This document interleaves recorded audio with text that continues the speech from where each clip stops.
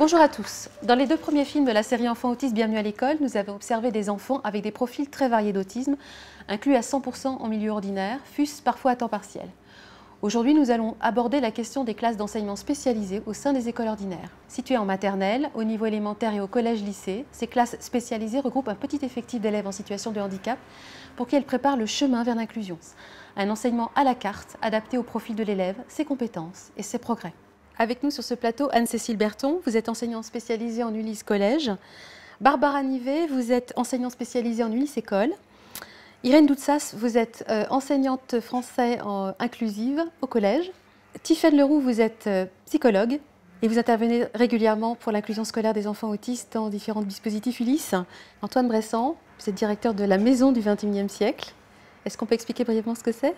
Euh, La Maison du XXIe est donc une association d'établissements qui parcourt une filière, on va dire, de très jeunes à plus âgés, avec des profils plutôt sévère avec des personnes autistes ou des personnes polyhandicapées. Marie-Christine Yvon, qui a euh, un peu la double casquette d'être maman de trois enfants autistes avec euh, des profils très différents, et notamment euh, Maïwen et Erwan, qui sont autistes sévères avec eux. Ils sont jumeaux, mais avec des profils différents d'autisme. Et vous avez un, parcours particulier parce que vous êtes physicienne, vous êtes enseignante en, en maths physique, en maths P, c'est ça? Et, vous, êtes passé un petit peu euh, sans transition entre l'enseignement de la physique et des mathématiques euh, au Massif MathsP à l'enseignement des fondamentaux de l'enseignement adapté pour vos deux jumeaux sévères, notamment Mywen, qui, qui ont des profils particulièrement euh, plus compliqués, avec des enjeux, on va dire. C'était pas vraiment sans transition, c'était en même temps. puisque j'ai quand même enseigné pendant une quinzaine d'années tout en faisant l'école euh, à mes enfants en complément de ce qu'ils voyaient en classe. J'ai commencé à travailler avec eux, ils avaient trois ans et demi. Euh, juste après le diagnostic et puis après avoir consulté quelques sites euh, de mamans essentiellement expliquant leur travail en teach, un travail structuré. Et ça c'était en, collaboration avec notre APE, notre accompagnante psycho-éducative, qui accompagnait Erwan et Maïwen à l'école sur le temps où ils étaient à l'école et à domicile ensuite pour faire de la remédiation cognitive et pour préparer le, travail scolaire. Elle est entrée en Clisted à 11 ans et elle est restée deux ans en Clisted. Et Sandra Stup, vous êtes BCABA. Est-ce qu'on peut expliquer rapidement ce que ça veut dire? C'est analyste du comportement certifié euh, par le board de, BACB. Vous travaillez notamment auprès des enfants autistes pour préparer l'inclusion dans voilà, les classes ordinaires. au sein d'un UME et j'ai la chance de superviser une UMA à Vesoul.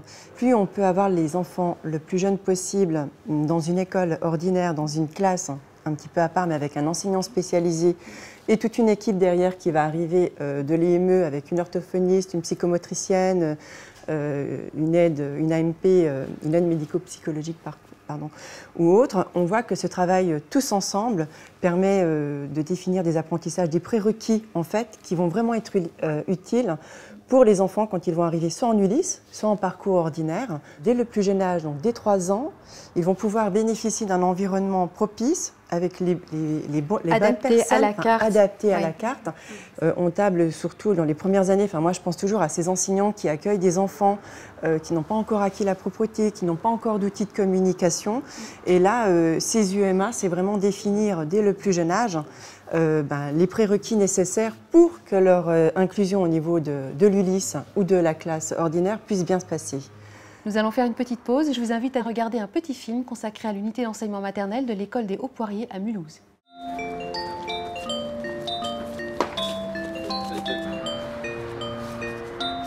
À l'école maternelle des Hauts-Poiriers de Mulhouse se trouve une classe d'enfants extraordinaires. Mardi matin, l'empereur, sa femme et le petit prince sont venus chez moi pour me serrer la pince. Comme j'étais parti, le petit prince a dit, puisque c'est ainsi, nous reviendrons.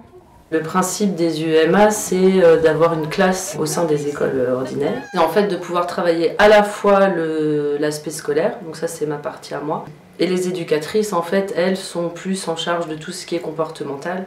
Donc ça va être travailler euh, la compliance, donc le fait d'accepter la consigne et de faire euh, que l'enfant fasse ce qu'on lui demande, de travailler le fait de rester assis à table, le fait de diminuer les troubles du comportement s'il y en a. Très bien. Alors tu te rappelles, il faut tenir là. Vas-y, secoue. Chaque enfant a un programme bien à lui qui nous permet en fait de les faire progresser à leur rythme et pouvoir euh, atteindre en fait le niveau scolaire de leur tranche d'âge pour pouvoir après euh, aller dans les classes. faire quoi? Glisser Glisser, ouais Découper. Très bien, Gabriel. Découper. Hop. Et... Regarde Gabriel. Comme ça. Je t'aide. Le nez. Tu touches pas, on enlèvera après. Tu sais, tu appuies. Comme ça c'est appui. L'idée c'est de partir de ce que sait déjà faire l'enfant et d'augmenter son répertoire de compétences. Donc moi, ma, ma partie, en ce qui me concerne, ça va vraiment être de les amener au niveau scolaire de la classe dans laquelle ils sont inclus.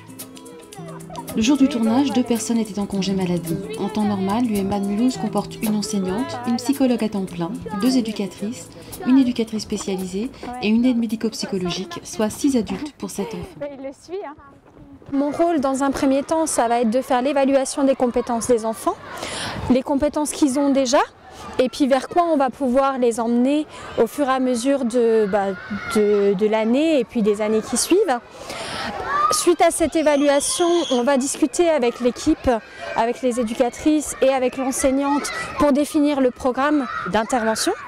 Donc ça va être un programme qui sera basé sur la BA, aussi bien au niveau du comportement, parce qu'il y a certains enfants qui vont présenter des troubles du comportement, donc on va être amené à agir dessus, que au niveau de la communication. Un ceci. Ah. Ah, Annelise. Super, bravo. On a fait une tour. Et après il dit je veux manger des Ouais. L'équipe a été formée en ABA pendant deux semaines avec un organisme de formation. Donc on a suivi tout ce qui était principe ABA, euh, principes comportementaux du coup. Et on a quelqu'un, une euh, superviseuse qui a un titre de BCBA, qui vient nous superviser une fois par mois et euh, qui peut être présente aussi sur, euh, sur demande si vraiment il y a des soucis de comportement. Les enfants vont en inclusion dans les classes ordinaires de l'école maternelle. Moi, je rencontre les enseignants avant pour qu'on puisse parler du niveau des enfants, du- de leur programme, etc. Et comme ça, on peut ajuster en fait euh, les apprentissages, ce qui permet de généraliser les apprentissages qui sont appris euh, à l'UEMA et de les généraliser en fait à l'école ordinaire. On rentre à l'UEMA, d'accord? Super. Bonjour. Camille, elle a une surprise pour toi? Une surprise, tu veux voir? C'est qui? Comment il s'appelle? C'est Jacques. Tu peux le colorier.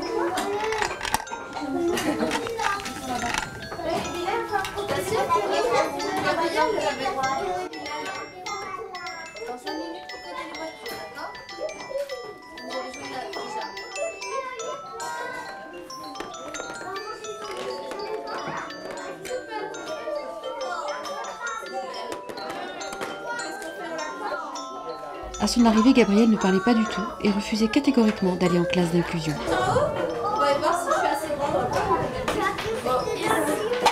Gabriel, il est arrivé et pendant 15 jours, il a pleuré parce qu'il ne s'était jamais séparé de ses parents. Donc euh, ça a été déjà toute une période où il ne tenait pas assis, il pleurait toute la journée. Aujourd'hui, il peut tenir assis euh, toute la matinée. Il commence à répondre à des questions, il euh, produit des phrases complètes avec des verbes, avec, qui sont tout à fait fonctionnels. Il a de plus en plus de petits commentaires spontanés aussi. Pour ça, c'est quand même une grande évolution. Et puis effectivement, répondre aux questions euh, que, que lui pose l'adulte. Et commence à pouvoir euh, interpeller les autres enfants et à leur poser des questions. On y va, Gabriel? On retourne dans la classe. Regarde, il, il est fini. Aujourd'hui, il sera resté plus longtemps. Clairement. On va remettre tout dans le sac. À la veste, Gabriel? Et c'est chez Camille. Oui, on était chez Camille. Et c'était super chez Camille. Hein On la classe. oui, on va dans la classe de Laetitia. À l'UEMA. On va faire la maths. Oui, je veux. On va mettre le vêt. À partir du moment où on sent que l'enfant est à l'aise dans la classe et que euh, tout se passe bien, on augmente le temps d'inclusion. Puisque l'objectif des UEMA, c'est que les enfants puissent aller à- au terme des trois années, euh, soit en CP, soit en ULIS, avec ou sans accompagnement. Donc l'idée, c'est qu'ils puissent effectivement aller un maximum de temps, euh, dans la mesure de leur capacité, euh, en école ordinaire. Il y a un écureuil là dans la... Déjà dans un premier temps, je suis intervenue dans toutes les classes de maternelle pour expliquer aux enfants et aux, et aux enseignants aussi ce que c'était que bah, l'autisme tout simplement, ce que c'était que le classeur PEX, parce que c'est des choses qu'ils vont voir, enfin, que les enfants voyaient et qui, bah, qui étaient un peu étranges pour eux. En cours de récréation, les enfants de l'école viennent chercher le contact avec nos élèves. Si certains des nôtres font des bêtises, ils viennent nous le dire. Enfin voilà, ils sont traités. euh, Enfin, on n'a pas vraiment l'impression, nous, qu'il y ait de réelles différences entre eux.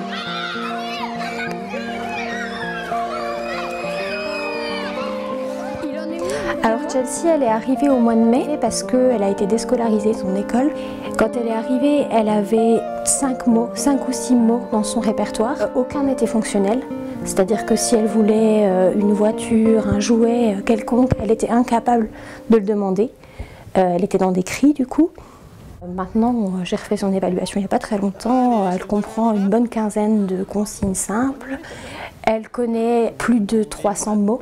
En 5 mois, ouais, c'est une petite qui a fait un bond au niveau du vocabulaire et de la communication.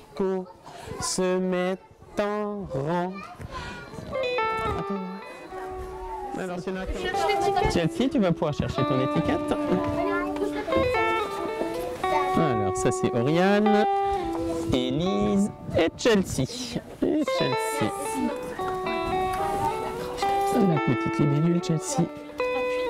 Voilà. Tu viens prendre la crête, Chelsea? Et tu vas pouvoir venir colorier une petite boule sur le sapin.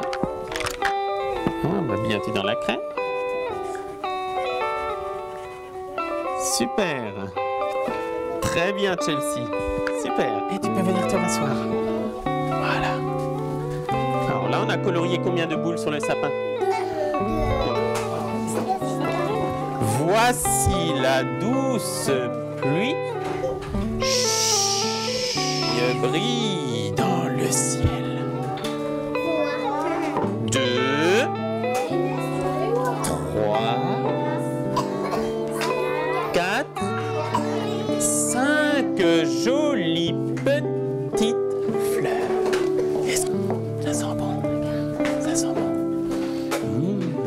Donc actuellement, elle est en inclusion une heure par jour dans la classe de maternelle avec euh, les autres enfants et avec euh, l'aide d'une éducatrice qui est euh, de notre équipe. L'objectif, c'est d'augmenter de plus en plus. Moi, j'ai pas de doute sur le fait que Chelsea, à la fin de l'année, elle puisse intégrer au moins un mi-temps l'école, voire l'année prochaine, elle va intégrer un CP. Enfin, l'année, dans deux ans. C'est très beau, bravo. Bravo, Chelsea, c'est très beau. Qu'est-ce que c'est? Ouais, top là. Trop fort. J'ai un créneau par semaine où les familles peuvent me rencontrer pour discuter euh, bah, des soucis qu'ils rencontrent avec leurs enfants. On peut voir quels aménagements on peut mettre en place à la maison. Si besoin, moi je vais à domicile pour euh, mettre en place les outils visuels, des choses comme ça. Et euh, un rôle auprès de l'équipe dans la supervision. Dans la supervision et la coordination des projets de l'enfant. L'équipe de l'UEMA travaille main dans la main avec les parents qu'elle rencontre tous les mois pour faire le point sur l'évolution de l'enfant et remettre à jour ses objectifs. Au revoir Elodie. Au revoir Elodie, à demain. À demain, au revoir. Au revoir. L'inclusion scolaire se prépare bien en amont de l'école. Les familles sont des partenaires essentiels de l'inclusion. Ah, il n'y en a pas des. Je lui parle tout le temps, mais je réponds souvent à sa place. Par exemple, je lui dis euh, Tu t'es bien amusée, Chelsea, aujourd'hui? Et elle me répond pas. Je fais Oui, c'est vrai, tu t'es bien amusée. Oh, t'as été gentille et tout. Et puis voilà. Après aussi, euh, quand l'école ils me disent qu'elle qu'elle a bien travaillé, je lui en parle. je réponds à sa place, mais elle comprend. Avant, elle parlait pas.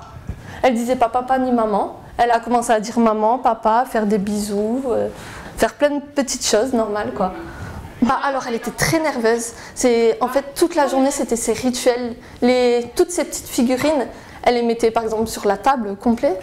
Et, euh, et elle s'énervait tout le temps dès qu'il y en avait un qui tombait ou il se mettait pas euh, comme elle voulait quoi. Ou alors elle essayait de faire des trucs vraiment bizarres. Elle essayait de les mettre les uns sur les autres, ça marchait pas et là c'était la crise mais pas possible. Et depuis, elle ne le fait pratiquement plus.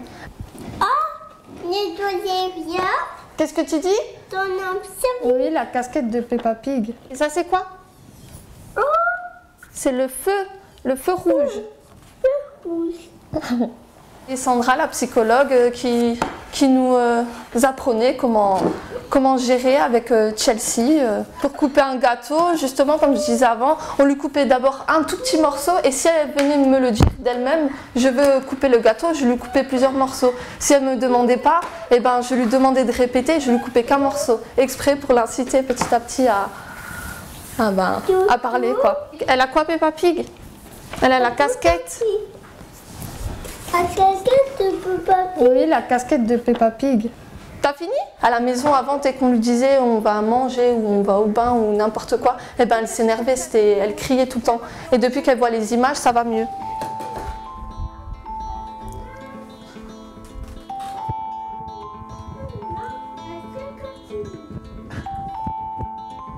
Pour parvenir à ce résultat, la bienveillance ne suffit pas.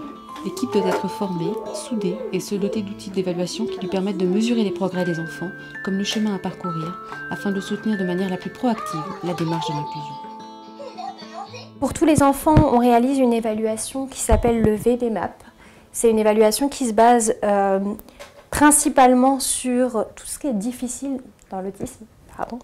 Tout ce qui est difficile dans l'autisme, donc les différentes fonctions de communication, euh, le jeu et les compétences d'interaction sociale. Ça, c'est l'exemple du VBMAP de Zoé. En jaune, tout ça, c'est les compétences qu'elle avait euh, de base. Et puis en rouge, c'est tout ce qu'elle a pu acquérir avec nous en six mois. Là. Et normalement, il faudrait que je mette en vert, euh, c'est la prochaine évaluation qui est en train de se faire en ce moment. Je peux déjà vous dire que tout le niveau 2 est rempli. Et au niveau du niveau 3, il y a une bonne partie déjà qui va pouvoir se remplir aussi. L'objectif est d'apprendre à apprendre. Quand l'enfant est arrivé au niveau 3 du VBMAP, on estime qu'il a toutes les compétences nécessaires pour apprendre par lui-même. Zoé, donc, elle a eu la chance d'être diagnostiquée à deux ans. Donc, elle a eu une prise en charge en hôpital de jour, mais où elle a pu, enfin, dans cet hôpital de jour, il y a eu de la, ch- la chance de mettre en place du PEX déjà, avec une éducatrice qui était euh, sensibilisée et formée à la BA. Et quand elle est arrivée euh, chez nous, elle avait déjà, euh, déjà bien acquis la, la compétence de demande au niveau, enfin, en utilisant son classeur. C'était quelque chose qu'elle avait déjà bien investi. Mais voilà, on restait sur des demandes et sur quelques noms d'objets qu'elle connaissait. On en était là. Qu'est-ce que tu as fait ce matin, Zoé, à l'école? De peinture. Ouais. Avec Virginie? Oui. Et t'as fait quoi d'autre? T'étais où? Ce matin Dans la cuisine. Ouais. Avec qui? Et t'as fait quoi en cuisine? Qu'est-ce que t'as fait? Un soupe à champignons. De la soupe aux champignons? Oui. Euh, elle a commencé par deux heures, euh, deux fois une heure par semaine. Donc c'était tout petit temps d'inclusion. Maintenant, euh, Zoé, c'est une petite fille qui va en inclusion, elle, tous les jours, deux, à- deux heures, je crois, par jour. Elle est capable de rester en classe même toute seule avec les autres enfants. Apparemment, ça se passe très très bien. Alors, est-ce que tu vas aller vite comme une Zoé ou vite comme une mamie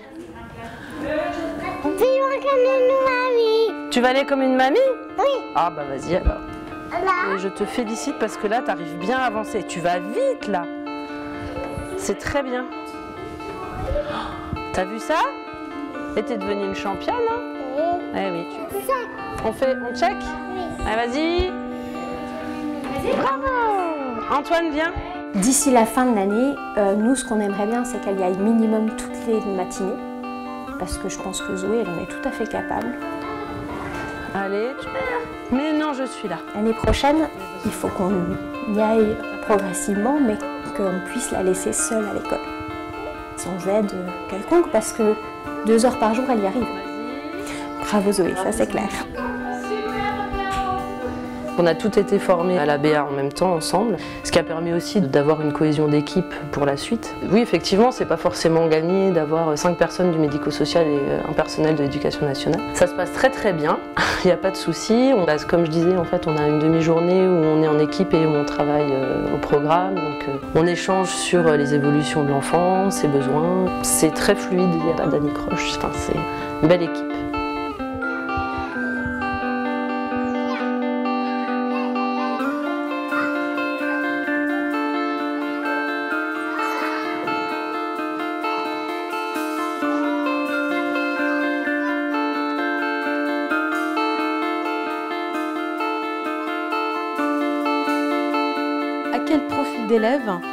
S'adresse le dispositif d'enseignement spécialisé Comment est-ce qu'on définit la place d'un enfant forcément à l'école ordinaire, mais est-ce qu'on le met dans une école euh, ordinaire à 100% ou est-ce qu'on le met dans un dispositif Ulysse? Je pense que c'est la base. À quel profil d'élèves? Je crois que cette décision, elle doit être euh, partagée avec la famille et avec tous les intervenants qui euh, gravitent autour de l'enfant.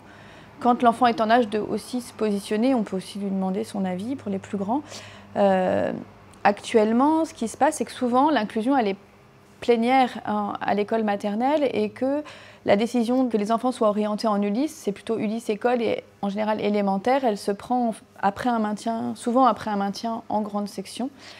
Euh, si l'enfant euh, est dans les apprentissages, mais que la classe ordinaire ne peut pas alimenter suffisamment le parcours personnalisé de cet enfant euh, seul, si la classe seule, ordinaire seule ne peut pas euh, remplir sa mission finalement.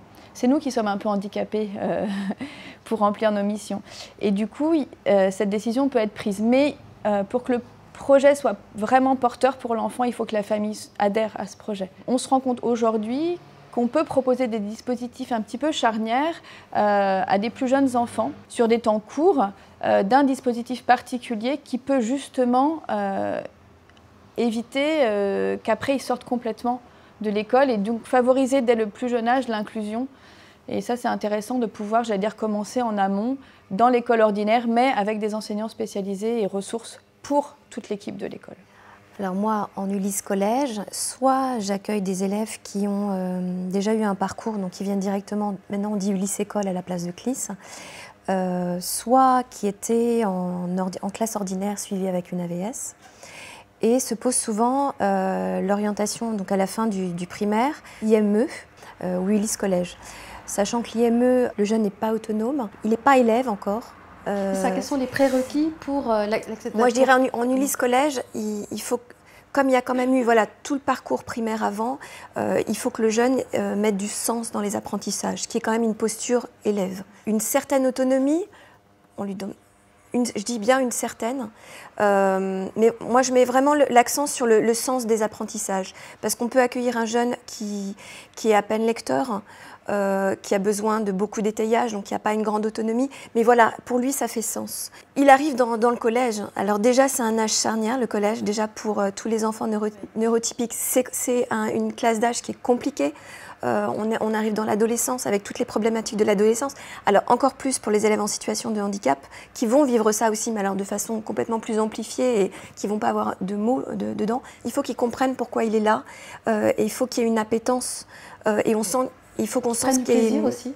Oui, du plaisir, bien sûr, parce qu'on c'est des, des, des, jeunes qui, qui, ont été en souffrance dans le milieu ordinaire, qui ont vécu des choses, euh, voilà, où ils ont, ils ont un parcours déjà chaotique derrière eux. Donc, il faut qu'ils soient partie prenante de ce projet, parce que dès qu'ils arrivent en sixième, on pense à l'après. Donc, il, il faut qu'ils soient acteurs de ça. Quel est le ratio AESH élèves dans vos classes respectives?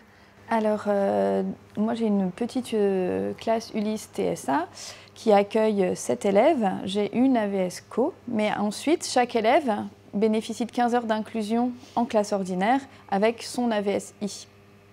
Et le, justement par rapport aux prérequis pour entrer dans l'ULIS, c'était euh, c'est des enfants qui étaient scolarisés en milieu ordinaire euh, avant d'entrer dans, dans l'ULIS. C'est une ULIS qui est à la fois maternelle et élémentaire puisque l'école qui euh, scolarise ces enfants est une école primaire avec des classes allant de la petite section au CM2. Ça offre des possibilités intéressantes. Et du coup, dans les prérequis, il y avait quand même que les enfants puissent euh, au niveau aussi affectif, supporter le fait d'être à la fois avec la maîtresse de l'Ulysse et avec une, classe, c'est-à-dire deux référents. Et c'est pas si évident que ça. Il fallait qu'ils puissent quand même pouvoir s'asseoir à minima 5 minutes, qui commencent à avoir une petite posture d'élève, qui rentrent dans les apprentissages. Alors finalement, ce n'est pas tout à fait simple pour tout le monde, mais on offre cette possibilité d'accompagnement à la carte qui permet l'inclusion 15 heures en classe ordinaire pour tous. Le spectre étant tellement très large, euh, voilà, nous les retours qu'on a des, enseignants, des enseignants du lit, c'est comment faire avec toute cette palette euh, de pathologies et d'enfants qu'elles doivent accueillir pour garder euh, un groupe scolaire riche où il y a un enseignement qui va être cohérent et pour amener les enfants progressivement à continuer leur scolarisation et les amener à vouloir à continuer à rentrer dans les apprentissages et pouvoir surtout les restituer voilà. Alors non, seulement les restituer euh, dans la classe, aussi dans les différents lieux euh, d'inclusion euh, scolaire en classe ordinaire. Je suis tout à fait d'accord. Pour en venir à la présence de, de l'AESH, les clistes du, du, département, il y a donc 5 ou 7 enfants, une enseignante spécialisée, une éducatrice spécialisée qui fait office d'AVSCO, mais qui est en fait une professionnelle du CESAD, et donc est formée et est supervisée par le CESAD. Donc elle sait euh, créer les outils et euh, utiliser les techniques euh, comportementales quand il y a un problème. Et il y a également la présence d'une orthophoniste, d'une psychomotricienne et d'une psychologue en, nombre d'heures suffisant pour, pour, pouvoir intervenir. Qui interviennent au sein de l'école, directement au sein de l'école. Exactement, au sein de l'école. Voilà. C'est tout l'intérêt du dispositif. Voilà. Et donc l'enseignante et l'éducatrice du CESAD sont dans la même salle en permanence. Et, elles ont un rôle différent euh, chacune, puisque en fait l'enseignante est la référente en ce qui concerne les apprentissages scolaires et euh, l'éducatrice en ce qui concerne les, la, remédiation cognitive. Alors jusque l'année dernière, les élèves accueillis en Ulysse étaient censés aller en inclusion en autonomie, sans AVSH. Je crois que ce système a changé. En Ulysse École, c'était comme ça. En tout cas, euh, on leur demandait finalement d'aller en inclusion, ce qui est quand même plus difficile que de rester dans l'Ulysse et sans filet finalement. C'est un peu le paradoxe du système qui s'adresse à des enfants qui sont plus en difficulté peut-être pour être accueillis, euh, ne pouvant pas être accueillis 100% milieu ordinaire, mais en même temps devant se débrouiller tout seul euh, en classe inclusive. Mais ça, ce dispositif a changé. En tout cas, nous, dans le, le dispositif expérimental finalement de l'Ulysse TSA de Montreuil, euh, chaque enfant est accompagné euh, il y a une notification MDPH de 15 heures sur les 15 heures d'inclusion. Ils n'y vont pas euh, seuls. Nous, on, nous a dit, euh, c'est peut-être simplement le 78, hein, mais on nous a dit que c'était beaucoup plus facile d'obtenir une AVSI pour un, pour un élève en Ulysse, en TFC que précédemment, et que donc il fallait faire la demande s'il y avait besoin pour les inclusions. Au collège, au niveau des, textes de la circulaire de septembre 2016, c'est stipulé euh, que le, est orienté en Ulysse Collège un jeune qui n'a pas besoin d'une aide individuelle. Maintenant, la réalité sur le terrain... Il n'a pas besoin tout le temps. Tout le temps, voilà, pour tous les apprentissages, tous les temps d'inclusion, tout à Donc fait. il peut en avoir besoin en temps, dans temps d'inclusion, mais il ne faut pas qu'il en ait besoin dans les temps de regroupement. Voilà. Mais dans la réalité, moi, mon AESH, elle suit euh, tous les élèves en inclusion qui en ont le besoin. Comment votre classe particulière est-elle perçue dans l'école? Moi, ça fait la troisième année que je suis au collège et j'ai eu le temps, parce que ça demande du temps, tout ça, en, niveau, en termes de préparation et même pendant l'année scolaire, de présenter le dispositif en début d'année, à la fois aux professeurs. Donc, euh, et là, ça a changé, je dirais, euh, Enfin, Irène pourra en parler, mais je pense que cette présentation au moment de, la rentrée euh, des professeurs a été très très importante. Euh, alors, il y avait à la fois les professeurs et tout le personnel bah, de, l'établissement, et de façon ponctuelle, parce que dans un collège de, 700 élèves, on ne peut pas passer dans toutes les classes, mais de façon ponctuelle déjà dans toutes les classes qui incluaient euh, mes élèves, on est venu, je dis on parce qu'avec l'aide de la médiatrice, qui a un rôle important dans un collège, euh, on est venu présenter euh, la différence. On parle de handicap, mais on parle plus de différence. Et je leur parle à tous comme ça. Vous avez tous un handicap, vous avez tous des difficultés, donc vous avez tous une différence. Qu'est-ce que c'est? Et euh, quelles vont être les difficultés bah, des, jeunes qui font partie du dispositif et que vous allez avoir à, côtoyer au quotidien? Les grosses difficultés, ça va être sur les habiletés sociales, les interactions. Il y a beaucoup d'élèves, moi je suis plutôt sur de la déficience, donc, et avec deux élèves avec des troubles autistiques, mais même, même avec les, pour les élèves qui ont des, des, déficiences, les interactions, comment j'agis euh, pour des, choses du quotidien. Enfin, il y en a qui sont complètement à côté de la plaque. Il faut leur apprendre ça. Ils ne sont, ils sont pas armés. Et au collège, les, les jeunes, ils ne se font pas de cadeaux. Et ça fait partie de l'apprentissage de l'autonomie, d'éducation. Exactement. Et ça, il faut l'expliquer aux, aux, autres. Et surtout, c'est pour éviter aussi les risques qui sont liés aussi Bien à l'adolescence. Euh, nous, en tant que psychologues, on est aussi amenés à soutenir euh, l'établissement scolaire puisque euh, par, de par l'adolescence il y a, et les, les maladresses sociales, on a des enfants qui se trouvent en situation de grande difficulté et qui se mettent dans des situations de danger par rapport aux liens sociaux. Et c'est là effectivement toute l'importance de pouvoir expliquer. Alors, à la classe, effectivement, à la classe d'inclusion, à partir du moment où des mots sont mis voilà. Euh, tout de suite, on a quand même un effet très positif. On a une modification des, des élèves perturbateurs qui venaient effectivement embêter l'élève inclus. Euh, et parfois même, c'est cet élève qui, euh, effectivement, oui. qui, qui, qui, Qui vient Qui Tuteur était à la limite qui du harcèlement oui, ou qui était complètement dans- devient acteur, un acteur positif Et de voilà. l'inclusion. Et, et tout simplement, c'est c'est mettre des mots. Et c'est vrai que pour être intervenu dans des établissements scolaires, on m'a dit ne dites pas le terme autisme, ne dites pas c'est ça. Mais, mais, mais Si, ils ont- mais- on sent ils, ont- ils le recherchent, ils veulent, ils veulent ça. ouais. les enfants, enfin les adolescents, je prends l'exemple du collège, ils ne sont pas dupes. Euh, les enfants neurotypiques, c'est eux qui amènent les réponses. Ils disent oui, mais qu'est-ce que l'autisme dans tout ça? Ça ressemblerait à de l'autisme. Alors, et c'est là où effectivement euh, tout un dialogue se met en place. Et c'est vrai que pour expliquer ça à des classes d'âge, euh, notamment effectivement pour les élèves euh, qui sont euh, les classes euh, inclusives, au fur et à mesure, on voit même cet élève euh, TSA qui vient progressivement à côté de nous euh, et parfois au bout de la troisième année, eh ben, c'est l'élève qui va qui expliquer à sa façon, avec notre soutien, qui il est, où sont ses limites, ses difficultés et surtout ce qu'il aimerait. Bah, Moi, j'ai vraiment vu enfin, la différence parce que la première année, je m'étais dit non, on ne va pas le stigmatiser euh, en disant qu'il est différent. Et j'ai dit à Anne-Cécile, euh, non, non, il faut qu'on change ça parce que j'avais même des élèves excellents qui ne voulaient pas travailler avec ces élèves-là parce que ça les ralentissait, je leur ai de moins bonnes notes. Il fallait après que je leur explique à elles individuellement. Donc on a changé notre fusil d'épaule et après, moi vraiment, je leur ai vraiment dit en début d'année, quand Céline n'était pas là, je leur ai dit c'est vous qui allez l'intégrer. C'est pas lui qui va faire tout le chemin. Il a déjà assez de soucis comme ça. C'est responsabiliser les, On les élèves je les par responsabilisés. Leur un déjà, ils ont été responsabilisés et ils se sont sentis autorisés aussi. Là, je suis autorisée à faire plus et vraiment à être acteur. Et je trouve cette année, ça a tout changé. Moi, je travaille beaucoup, beaucoup en groupe. Donc, il est toujours inclus à un moment donné du cours hein, dans un groupe. Et dans le groupe, du coup, il peut être aidé par la VS parce qu'elle va pas faire beaucoup plus de bruit que les autres groupes qui parlent. Enfin voilà, ça pas elle n'est pas différente. Et les élèves, par exemple, s'il a un petit peu, il met un peu de temps pour déplacer sa table, c'est les élèves qui viennent lui dire Hey Samy, tu viens avec nous Alors que les autres années, non, les élèves étaient pas. Ils se disaient Ah non, il va nous ralentir parce que forcément, je les évalue, ils ont une production à faire, etc. Je suis vraiment d'accord avec euh, ce que vous dites parce que les enfants euh, vont les attendre dans la cour, vont les chercher, m'aident à ranger. Les enfants font beaucoup de vélo parce que c'est un renforçateur assez prenant, mais aucun enfant s'est plaint de ne pas avoir de vélo et que eux avaient des vélos, ça a posé aucun souci, ils comprennent. Et ils les aident à ranger leur vélo, ils courent à côté. euh, du coup, ça a créé des interactions qui ne seraient jamais nées. Euh, voilà, donc c'est formidable, je trouve. Comment ça se passe concrètement sur le terrain?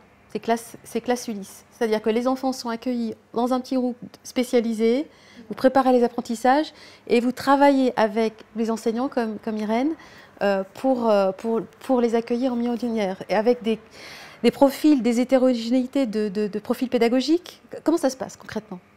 Donc moi j'accueille donc euh, je scolarise, je tiens à ce mot, sept élèves donc qui ont des profils finalement différents et je les scolarise en deux groupes. Nous les avons euh, partagés en deux groupes, les maternelles et les élémentaires. Et donc j'ai chaque groupe 9 heures. Euh, J'offre euh, déjà des stratégies pédagogiques et éducatives spécialisées puisque j'ai une formation qui me le permet avec un espace qui tient compte de l'âge réel des enfants, de leur âge de développement, qui n'est pas toujours le même que l'âge réel, et de leur spécificité sensorielle aussi, parce que c'est très important. Donc on a réfléchi en aménageant la classe à, élaborer, euh, donc ça c'est plutôt le teach qui va nous amener à ça, à penser les espaces le temps, avec des espaces bien lisibles. Donc il y a un coin où c'est le coin euh, communication, on va parler, il y a des planches de pictogrammes, les, enfants peuvent se servir. Euh, voilà, on fait des, ritualisations. Il y a un espace de travail à la table en autonomie, où on a mis en place des apprentissages autonomes via des outils de Maria Montessori, par exemple. Et puis euh, un autre espace où on va travailler en un pour un avec moi euh, sur des objectifs précis. Et là, euh, chaque enfant, ça peut être différent selon ses besoins et selon aussi les besoins de la classe qui le, scolarise euh, en milieu, dans la classe ordinaire, et puis un espace, j'allais dire, de repli, euh, un petit espace autistant, comme dirait Joseph Chevanec, où c'est un espace. Alors ma classe n'est pas très grande, donc j'aurais aimé pouvoir séparer le coin jeu, jeu symbolique, bibliothèque. Donc là, c'est un peu tout en un, mais c'est un espace où il y a la boîte à bidules. Donc la boîte à bidules, c'est une boîte où on peut euh, prendre des objets comme renforçateur. Il y a un tapis où on peut se poser. Euh, voilà, quand on, est, quand on a besoin d'être un peu en repli, on, on peut aller dans ce coin, on le demande et on y va. Voilà. Donc en fait, c'est une gestion, euh, j'allais dire, on est toujours un peu funambule, c'est-à-dire qu'on doit être détective à chaque fois, d'observer. C'est vraiment un travail de décryptage permanent pour l'enseignant. Et la VS, enfin la ESH euh, Co qui travaille avec moi, on est toujours. Euh, c'est impossible de relâcher son attention, on doit toujours être très observateur de ce qui se passe pour savoir. On a un emploi du temps, hein. on se fixe un bel emploi du temps, on prépare, on fait des fiches de préparation, on pense à plein de choses. Puis finalement, la journée ne se déroule pas toujours comme on l'a prévu. Donc il faut être toujours, je veux dire, il faut en avoir sous le chapeau. Il faut être capable d'avoir des objectifs, de les penser en termes d'apprentissage, mais aussi d'être souple pour pouvoir changer de stratégie en temps réel et très vite. Moi, je suis enseignante et je reste à ma place d'enseignante. Je ne serai jamais intervenante à BA, je ne suis pas orthophoniste. Il faut savoir rester à sa place, mais en même temps, euh, se servir de tout ce qui est à notre disposition pour créer notre propre chemin pédagogique. Comprendre comment l'enfant euh, va atteindre euh, une compétence visée, c'est-à-dire que, euh, enfin, Personnellement, je travaille beaucoup sur les fonctions exécutives. Je trouve que c'est ce qui est très difficile avec nos élèves. Et donc, je réfléchis dans ma, dans ma préparation à est-ce que ma séquence, elle prend en compte là pour cet enfant sa flexibilité ou sa non-flexibilité? Comment je vais l'amener à réfléchir. Là, par exemple, on a travaillé sur le courrier, sur les lettres, la lecture. Eh ben, je ne vais pas présenter une seule boîte aux lettres, je vais en présenter plusieurs de couleurs différentes, parce que sinon, on les fiche dans une certaine représentation. Donc, c'est comment on pense tout ça, comment je vais penser à son inhibition? Donc là, quand je mets les ateliers euh, autonomes, par exemple, des bêtises avec des pompons, il faut les remettre sur des formes, etc. Ben, il ne faut pas qu'il mange le pompon dans un premier. Enfin, voilà. Donc, c'est comment je vais travailler l'inhibition, comment je. Il y en a un, il adore le vert, et ben un jour, il n'y a pas de pompon vert. Ah, mince. Donc, euh, comment je travaille justement cette flexibilité ou la mémoire de travail ou encore le, passage à l'autonomie. Donc tout ça, j'allais dire ces spécificités cognitives, euh, il faut avoir une bonne connaissance de ce qu'est l'autisme en fait pour pouvoir euh, se dire ah oui là tiens je suis en train de faire des maths j'ai pas pensé à ça mais peut-être que si je fais un tout petit peu autrement là je vais pouvoir l'amener à, résoudre mais ça demande un, un temps et c'est ce qui est permis dans l'ULIS. Mes collègues, euh, avec leurs 25 élèves, elles n'ont pas cette approche programme à remplir, aussi fine. Ben, on l'a aussi, mais finalement, les outils que je, que je construis, une fois que je leur dis, ben voilà, ça, ça marche, essaie-toi dans, dans, la classe, et puis petit à petit, finalement, on généralise des choses. J'ai la chance dans mon dispositif d'avoir 6 heures de co-intervention pour intervenir dans les classes. Euh, en Ulysse Collège, on, et je dirais moi, je favorise vraiment l'inclusion. C'est-à-dire que les élèves, euh, donc là j'ai un groupe de 11, ils font leur rentrée avec euh, leur classe d'inclusion. Donc ils sont inscrits dans leur classe de niveau d'âge. On dit bien niveau d'âge qui n'est pas leur niveau d'apprentissage. 11 élèves dont deux autistes. Oui, avec troubles autistiques. Et donc, ils font leur entrée dans, leur classe de niveau d'âge. On les accompagne, on, avec l'AESH. La, pour ceux qui en ont besoin, il y en a, il y en a qui n'ont pas besoin forcément de cet accompagnement-là. Mais ça leur permet de, s'ancrer et de, faire partie d'une classe aussi, ça c'est important. Alors pour eux, c'est une gymnastique parce qu'il y a, il y a le dispositif Ulysse. C'est plus une classe, on parle bien de dispositif. Et il y a leur classe euh, dans, laquelle ils s'inscrivent et c'est important pour eux de faire partie du collège, donc à l'intérieur de cette classe. Euh, et ça, vraiment, depuis que ça a été mis en place, cette rentrée scolaire avec leur classe, on sent que c'est important pour eux. Après, s'établit bah, dans les, semaines, euh, les semaines qui suivent, on les évalue, même d'une année sur l'autre, même s'il reste le temps des vacances, même pour tous les élèves, c'est toujours un temps euh, qui est important de maturité, etc. Donc il y a besoin de les réévaluer. Euh, et là, c'est toute la construction d'un emploi du temps individuel adapté pour chacun des élèves. Même pour trois élèves euh, de sixième qui vont se retrouver dans la même sixième, ils ne vont pas avoir du tout le même emploi du temps parce que les besoins ne sont pas les mêmes, les capacités ne sont pas les mêmes. En même temps, il va falloir insérer l'AESH, les temps d'inclusion, à quel moment elle va, à quel moment ça va être pertinent pour elle d'accompagner le, jeune, peut-être sur tous les temps d'inclusion inclusion, peut-être juste euh, en, histoire géo, ou, voilà, des, pour des étayages très particuliers. Penser euh, dans quelle classe chaque élève euh, va aller, Pour des élèves qui, sont qui font déjà partie de l'ULIS, je dirais que ça, ça se fait en juin avec les professeurs, puisqu'on commence à les connaître, on, voit ce qui fonctionne, ce qui ne fonctionne pas. Et je dirais même, l'élève aussi, lui-même, est un indicateur sur comment organiser son planning. Eux-mêmes nous indiquent euh, leurs préférences, euh, en respectant leur centre d'intérêt, leurs spécificités. Euh, le planning se fait parfois plus facilement et plus naturellement parce qu'ils vont être acteurs. Et un enfant qui est acteur dans son planning va avoir envie de donner tout son potentiel pour pouvoir avoir une place dans la classe d'inclusion. Lorsqu'on nous on travaille avec eux, ils sont tellement heureux et valorisés d'avoir ce temps. C'est, voilà, c'est, je fais partie d'une classe. Je ne suis pas, euh, j'ai ma spécificité parce qu'on est là aussi pour apprendre. Ils sont, ils sont particuliers. Ils ont une spécificité qu'on, qu'on essaie de nommer. Pour qu'ils connaissent leurs limites, mais aussi leurs capacités. Et euh, les retours que nous, nous avons des enfants que nous accompagnons, c'est ah, qu'est-ce que c'est bien, aujourd'hui j'ai fait l'histoire géo, j'ai fait des sciences, c'était génial, j'ai pris la parole, euh, le professeur était content de moi. Donc ça, voilà, ça c'est une inclusion euh, réussie voilà, avec l'ensemble de l'établissement du collège. Concrètement, comment ça se met en place? Le contact avec les autres enseignants et le choix de le mettre dans telle ou telle classe de référence?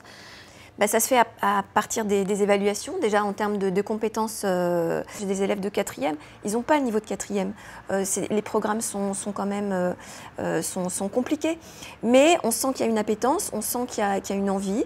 et on va, du coup, on va, on va développer cette, cette inclusion et on va créer les outils et les adaptations nécessaires pour que ça se passe bien. Et puis, il faut savoir, et je leur dis en début d'année, rien n'est figé, rien n'est fixe. Hein. Euh, cet emploi du temps, il peut changer à tout moment. Et s'il y a de la souffrance, si on sent que le jeune est en, oui, en, souffrance, parce qu'il peut être en souffrance, il peut, il peut avoir des difficultés à le, formuler. Euh, les, professeurs nous, renvoient ça aussi, ce regard-là. On change, rien n'est figé.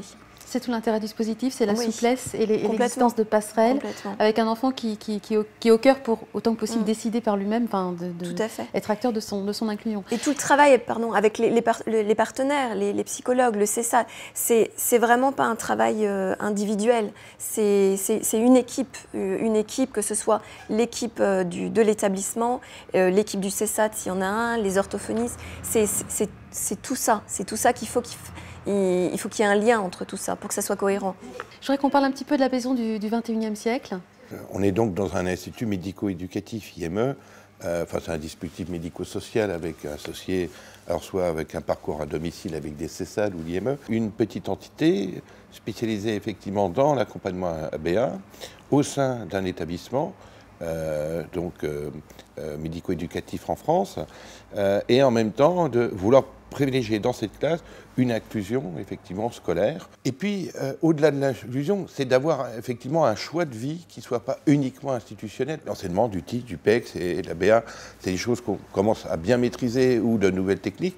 Et là, des partenariats, de la coordination entre le milieu ordinaire, euh, les établissements spécialisés peuvent vraiment avoir euh, un effet profitable pour ces enfants pour viser effectivement déjà les prérequis, mais en même temps une inclusion généralisée.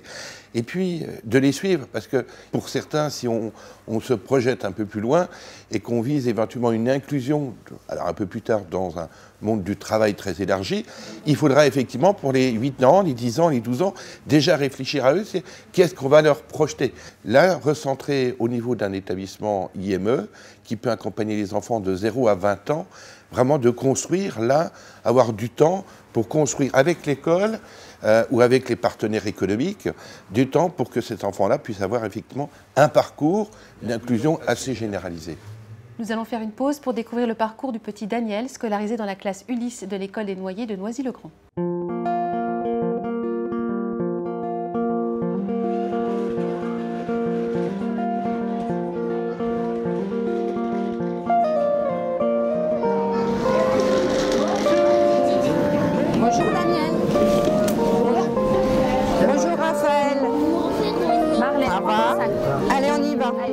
Daniel a 6 ans, il est autiste. Il est accueilli au CP dans le dispositif Ulysse de l'école des Noyers de Noisy-le-Grand. Et je joue blanc, blanc. Et je joue blanc. Et je joue quand il fait jour. Oui. Et quand il fait nuit. Et le mercredi. Et quand papa dort en création, qu'est-ce qui va se passer d'accord, très bien. Tu vas garder cette étiquette à la main ou sur ton scratch, peu importe. Et qu'est-ce que tu dois faire maintenant? Je dois faire. Je dois faire chercher des étiquettes. Pour faire une Phrase. Eh oui, pour faire une phrase. Allez, vas-y, tu te débrouilles. Regarde, on t'a donné une étiquette. C'est quoi comme Ouais, c'est pas mal. Dans.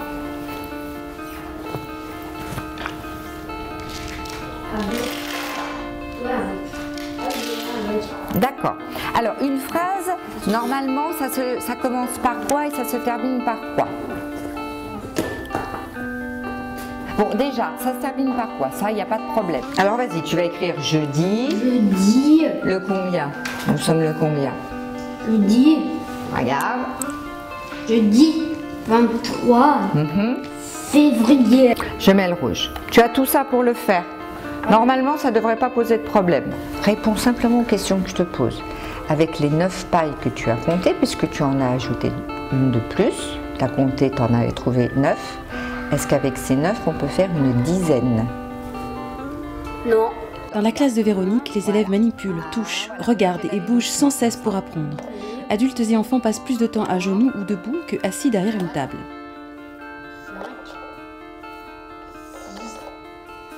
L'objectif est que Daniel et ses camarades de classe puissent intégrer un cursus ordinaire avec AVS individuel à l'issue de deux ou trois années de ce dispositif intensif. Et que tu m'écrives celui-là. D'abord, il faut que tu le devines. Comment on voit Parce que le petit garçon, il a pris l'herbe et il a donné au cheval. Eh oui. Qu'est-ce qu'est-ce que ça veut dire Tous ces pas là et puis ces pas changent de couleur, toutes ces traces changent de couleur. Pourquoi? Parce que, parce que il, il a mis ses bottes et après, et, et après il sort. Exactement. La classe Ulysse accueille ses élèves extraordinaires 9 heures par semaine en trois demi-journées. En parallèle au travail de Véronique et d'Amélie, le CESAD intervient pour dispenser aux élèves des séances d'orthophonie et de psychomotricité dans l'enceinte même de l'école. Une éducatrice leur dispense également des cours d'habileté sociale. Une psychologue du CESAD intervient de temps à autre dans le cadre de la classe Ulysse ou de la classe de référence, et quelquefois au domicile des parents si le besoin s'en fait sentir. On n'a pas assez de place, on est nombreux aujourd'hui dans la classe. On regarde le monde. C'est beau comme ça Oui, oui, oui, oui, oui, oui, oui, oui, oui. Non. Daniel, l'année dernière, était un petit garçon qui était euh, renfermé, qui était dans sa bulle. Il avait du mal à avoir le contact à- avec euh, la personne extérieure. Euh, le toucher, euh, le, le- mettre la main sur l'épaule, pour lui, c'était pas possible. Sourire, c'était pareil, c'était pas possible pour lui. Et aujourd'hui, en quelques mois, presque même pas un an, mais en quelques mois, on a vu l'évolution, c'était très rapide. Euh, Daniel s'est senti bien sur, tout de suite sur le dispositif, mais il a évolué. Il a commencé à, rire, à avoir des contacts avec ses camarades, notamment beaucoup avec Raphaël euh, aujourd'hui, où ils sont vraiment très copains. Euh, on peut s'approcher de lui, on peut lui donner la main, ou des fois il vient nous chercher, il vient nous donner la main aussi à nous. Il vient chercher le contact avec nous aussi. Il vient nous raconter ses journées ou ses vacances. Et euh, l'année dernière, c'était pas comme ça. L'année dernière, il y avait vraiment euh, cette barrière qu'il y avait entre lui et le monde extérieur, du moins à l'école, c'était comme ça. Et aujourd'hui, c'est vraiment ouvert et euh, il fait partie du groupe. Et, hein, il est totalement avec nous tous, avec ses camarades.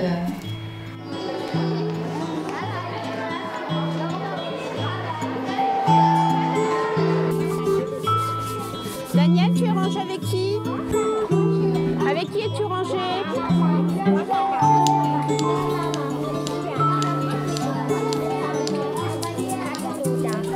Daniel et ses camarades sont accueillis 15 heures par semaine dans une classe ordinaire de référence avec une AVS individuelle. Euh, Je crois qu'on a presque tout dit. Auprès de son enseignante référente et de ses camarades de classe typiques, Daniel se familiarise avec son rôle d'élève. En as-tu trouvé un autre? Champignon. Ça y est.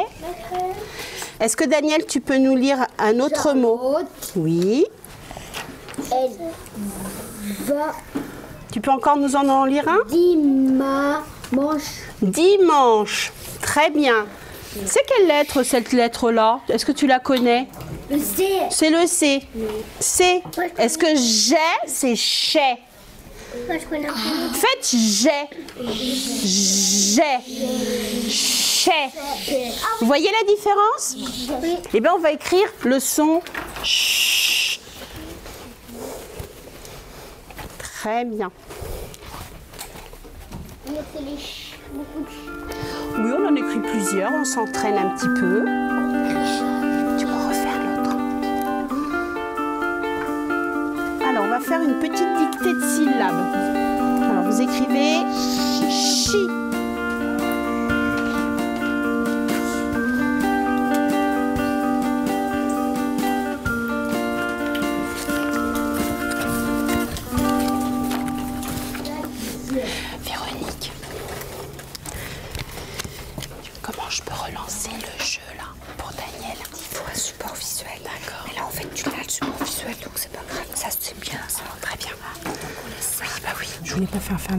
C'est un peu dur. Voilà, je voulais juste faire le H et le Charlotte parce qu'ils l'ont déjà écrit ça, tu vois, sur l'ardoise. C'est tout pour aujourd'hui, tu vois.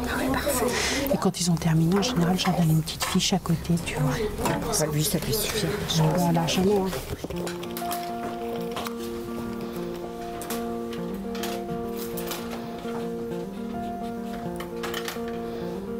Comment s'appellent-elles les formes? Un carré. Oui,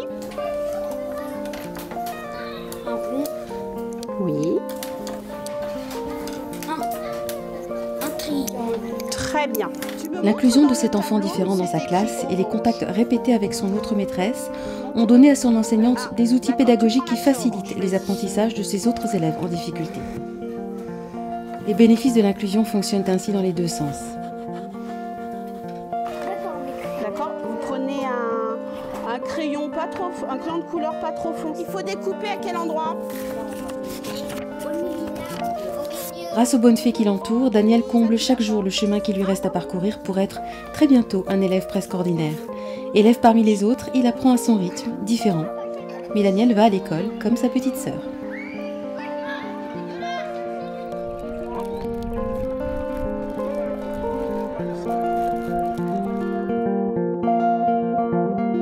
Est-ce que c'est pas aussi un avantage du dispositif Ulysse, c'est de former à l'inclusion les, les enseignants, euh, les enseignants ordinaires, on va dire, les enseignants non spécialisés, parce que c'est une grande partie de votre travail, c'est de former, d'aller voir des gens comme Irène et de, et de, former façon non les enseignants. Ah, voilà, c'est vraiment programme, c'est entre les lignes.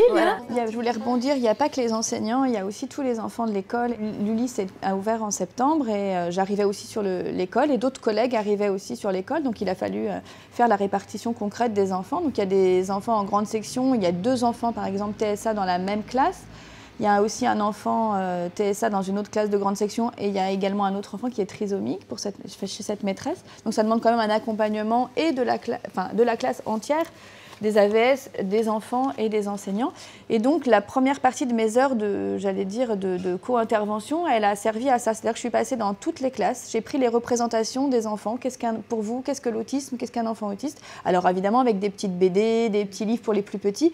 Et chez les plus grands, vraiment, euh, je pense que je vais écrire aussi, enfin je vais repartir là-dessus parce que c'était vraiment super intéressant leur représentation. Et après, euh, sans euh, poser le DSM-5, mais j'ai pu expliquer le sensoriel, expliquer la communication sociale, les intérêts restreints, et donner du sens à ce qu'ils observaient dans la cour ou dans les couloirs. Dès la récréation suivante, leur attitude avait changé. Et je crois que c'est eux vraiment les vecteurs de l'inclusion, parce que nous, on n'a pas connu ça petit, et eux, ça leur pose beaucoup moins de problèmes. Le matin, j'accueille les petits de maternelle dans, dans l'Ulysse. Certains viennent le matin euh, pour jouer euh, dans la classe sur le temps de l'accueil. Donc, euh, ils s'organisent entre eux, donc euh, j'ai expliqué aux, enfants, parce que c'était pas évident d'abord que des étrangers, entre guillemets, rentrent dans notre euh, espace. Et donc maintenant, ils savent qu'il y a des invités. Alors ils disent Aujourd'hui, est-ce qu'il y a des invités? Alors des fois, les invités viennent et puis des fois, ils ne sont pas levés assez tôt, donc il n'y a pas d'invités. Mais... Euh, Dès le plus jeune âge, quand on travaille donc, euh, au sein d'une UMA ou autre, on va déjà pouvoir travailler tout ce type d'inclusion. Quand ils sont tout petits atteints de TSA, ils n'ont pas du tout envie d'être euh, avec les autres enfants, ils vont plutôt rester seuls dans leur coin. ça, on l'observe vraiment sur le terrain à 3-4 ans, ils n'ont pas du tout cette, cette appétence pour l'inclusion ou pour l'autre en fait. Hein. Et donc tout ça, on va le travailler dès le plus jeune âge. Ça doit travailler avant. Voilà, il faut le travailler. Mais quand je dis il faut le travailler, ça se travaille vraiment. C'est pas juste les mettre au milieu de la classe. Là, au, niveau des UMA, on va pas juste faire de l'inclusion. Il va aller en petite section de maternelle parce qu'on va se dire comme c'est la maternelle, il n'y a pas vraiment de on n'a pas besoin de remplir des cases ou euh, voilà, c'est la socialisation. Mais non, ça ne va pas fonctionner comme ça. Et là, dans le cadre de l'UMA à Vesoul, euh, ce qu'on peut mettre en place, c'est une inclusion inversée où il y a des enfants de petite et moyenne section qui viennent le matin 4 pour les enfants qui sont là. Et on va créer des, des, interactions entre les enfants. On ne va pas attendre qu'ils se créent des interactions. Déjà, les tout petits, ils n'ont pas forcément de se créer des liens entre eux. Ils vont chacun jouer avec leurs jouets et puis euh, laissez-moi tranquille, ça me va bien. Et puis là, ils ne connaissent pas non plus le lieu. Donc il faut aussi, même pour des enfants typiques, qu'ils prennent euh, la dimension et qu'ils acceptent et qu'ils soient à l'aise. Et ensuite, c'est à nous, en tant qu'adultes, mais on doit pas, euh, on doit être le médiateur entre les enfants. Mais c'est entre les enfants qu'il faut que ça se passe. C'est-à-dire, c'est pas à l'adulte de donner. Donc c'est, alors il faut réussir à trouver. Alors moi je dis toujours, il faut prendre les filles, hein, parce que les filles sont toujours un petit peu matures, et puis elles veulent jouer les grandes sœurs, et puis voilà. Et puis euh, si on trouve des, petites filles un petit peu matures, et puis, euh, puis elles vont vite poser les questions, et puis vite poser les bonnes questions aussi. Et puis euh, déjà, il y, a des prérequis, hein. c'est accepter déjà qu'il y ait des enfants de la classe, de l'autre classe qui viennent. Euh, dans cette UMA, c'est accepter de recevoir euh, un objet euh, que va pouvoir tendre un enfant, ce qui n'est pas toujours si évident que ça. Et puis petit à petit, c'est l'amener à faire des jeux. Et c'est là où on peut avoir des inclusions réussies, effectivement, par la suite en Ulysse, école. C'est en ayant travaillé donc, sur toutes cette, ces interactions dès le plus jeune âge, parce que l'inclusion, c'est pas on va les mettre avec les autres enfants. On réussira pas une inclusion comme ça. Ça se travaille, il y a vraiment des techniques pour pouvoir le faire. Euh, alors oui, bien sûr, il y a les recommandations de la Haute Autorité de Santé. Euh, je suis analyste du comportement. on n'est pas là pour faire de l'ABA spécifiquement. On va adapter le tout, mais on est là pour euh, donner des techniques et des, euh, et des, procédures bien spécifiques. Chacun a son rôle. Il y a l'enseignante qui est pilote de la classe, il y a les éducateurs spécialisés qui viennent, qui eux ont effectivement les formations aussi euh, Teach, ABA, euh, PEX et tout ça. Et en fait, on va, et par exemple, l'orthophoniste, on va, on va lui donner le rôle pour tout ce qui est outils de communication et développement du PEX. La psychomotricienne, on va travailler avec elle pour tout ce qui est moteur et de l'imitation et qui va aussi aider. Enfin, je veux dire, c'est que des petites choses qui vont permettre à un moment donné que l'inclusion se passe mieux pour l'enfant. Une cohésion d'équipe. Euh, l'enseignante euh, devient une coordinatrice du projet euh, scolaire de, l'élève, mais à la fois, c'est important de, pouvoir entendre ce que les équipes antérieures ou les établissements antérieurs à la scolarisation de l'enfant a réussi à mettre en place. combien d'enfants on arrive maintenant à mener en classe ordinaire de CM2 et qu'effectivement, bah, il y a des limites aussi du système fait que euh, pour l'entrée au collège, les enfants bah, vont s'orienter vers un dispositif Ulysse. Euh, on ne peut pas euh, proposer l'inclusion en, Ulysse collège et dire ça y est, on, commence un projet. Non, il y a une antériorité et c'est là, c'est tout ce partenariat que je tiens à mettre en évidence. ce sont des réunions d'équipe qui doivent être régulièrement mises en place. On ne fait pas de la BA ni du teach, on utilise des outils et ça permet aussi. Montrer à la caméra? Euh, bah, ça, c'est un petit, en, je cache le nom de l'enfant, un petit euh, emploi du temps visuel. Voilà. Et euh, sur lequel, ben là, on arrive, on s'assoit sur les bancs, on va faire des mathématiques. Les ateliers de motricité fine, c'est des ateliers autonomes Montessori. Ensuite, on va en récréation. Après, on va faire du vélo. Et après, Barbara, elle va raconter une histoire. Et au fur et à mesure où le temps passe, on range dans la pochette. Dans un premier temps, après, on peut laisser pour justement revenir en arrière. Enfin, tous ces outils évoluent euh, au fur et à mesure et sont différents. Là, il y a des pictogrammes, il y a des photos. Euh, ça dépend des enfants. Là, j'ai un peu tout mélangé. Il y a des enfants qui vont avoir l'objet réel, d'autres qui vont avoir une photo, d'autres un pictogramme. Et là, certains enfants, pour se mettre au travail, ont besoin d'une grande motivation. Donc, j'utilise le renforcement euh, qui est proposé dans la BA, en fait. Pour pas pour tous, mais certains en ont besoin. L'économie de jetons L'économie de jetons, voilà. Alors, à 5, à 10, ça dépend où en sont les enfants. Des fois, c'est 1 au début. Voilà, moi, il y a un renforçateur qui marche super bien, c'est le vélo. Donc, euh, j'ai une élève qui n'arrivait pas à, se mettre au travail. Donc, en fait, euh, si elle, et elle faisait des bêtises, comme elle le dit elle-même, trop bêtises, trop de bêtises. Et du coup, euh, là, je dis, bah, si tu veux, tu veux faire du vélo, ah oui, je veux faire du vélo. Donc elle place le vélo, euh, ça peut être la pâte à modeler, ça peut être autre chose. Et puis on se met à faire le travail de mathématiques, de français. Et chaque... c'est pas forcément quand elle réussit, mais quand elle se met au travail, qu'elle avance. C'est à la fois une représentation du chemin à parcourir jusqu'au vélo. Euh, et, alors, on apprend aussi à différer parce qu'on peut pas faire du vélo immédiatement parfois. Donc il faut apprendre à attendre. Au début, on était dans le vélo immédiatement. Puis maintenant, c'est pendant la récréation, tu auras le vélo. Et donc on en est arrivé là, là à différer jusqu'à la récréation. Et du coup, on voit que les enfants avancent, ils comprennent, c'est visuel, ils peuvent toucher, ils peuvent se rendre compte, euh, on peut en discuter. Et puis, s'ils changent d'idée, ils peuvent très bien changer d'activité. Ils, apprennent à maîtriser leur environnement. Oui, et le temps qui passe aussi, parce que c'est très abstrait la notion de temps. Donc, euh, et à la fois l'emploi du temps visuel que je vous ai montré tout à l'heure et l'économie de jetons peut permettre ils comprennent très vite la contingence. Il n'y a pas besoin de verbal non plus pour mm. comprendre la contingence entre je fais quelque chose et j'obtiendrai quelque chose ensuite. Euh, et après, bien sûr, qu'on peut estomper. Et bien sûr, et de toute façon, c'est un système de renforcement comme on a tous. Hein. Euh, on en a tous besoin. Donc, c'est, euh, et, ça, et, ça, fonctionne très bien. Et c'est là l'intérêt aussi de travailler en coordination avec les établissements scolaires, puisque ces activités, ces outils qui permettent de réguler aussi le comportement mm. sont aussi travaillés en amont avec les professionnels. Marie-Christine, est-ce que vous pourriez décrire un petit peu le profil de Mawen? Oui, euh, c'est une autiste euh, sévère, euh, très peu de langage, communication faible, réceptive et expressive, et puis surtout un manque de décodage des relations sociales. Toute petite, elle ne, comprenait ni l'oral ni, ni le visuel, donc on ne pouvait même pas passer par les pictos jusqu'à 6 ans. elle, avait un mode de compréhension qui était tactile et vestibulaire. Donc euh, pour euh, les premiers apprentissages, euh, nous avons dû passer par, par des comptines, par la faire sauter. Elle a appris à, compter en sautant, puis ensuite en manipulant des, petits des petits objets. En fait, c'était des animaux parce que c'était son intérêt restreint. donc des poules, essentiellement. Elle a appris à compter des poules. Et, pour les lettres, les premières lettres, il y avait, on avait créé une comptine pour chaque trait de chaque lettre de son prénom. Euh, et elle, marchait sur une grande feuille euh, tout en disant la comptine, donc en traçant la lettre sur la grande feuille.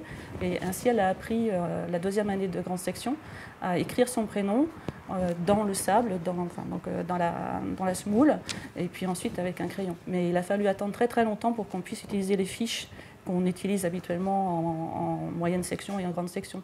Et ne pouvait pas entourer, ne pouvait pas relier.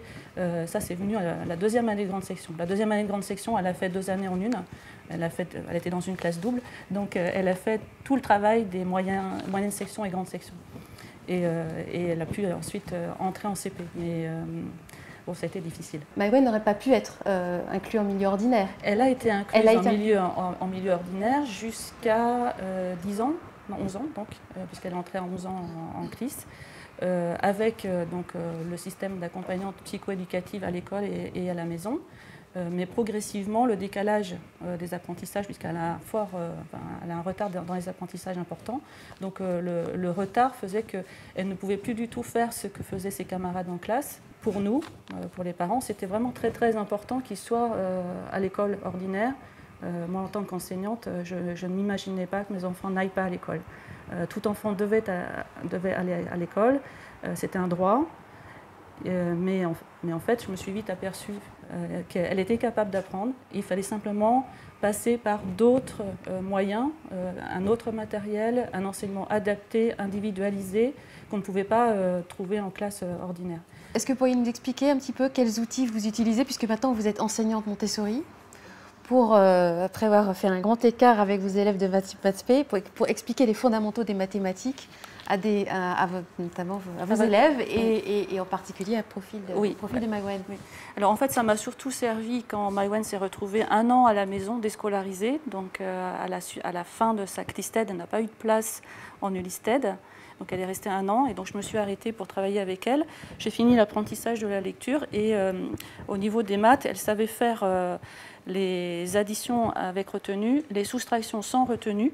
Et donc je me suis dit, après une formation euh, Montessori handicap, qu'elle euh, pouvait, elle pouvait apprendre.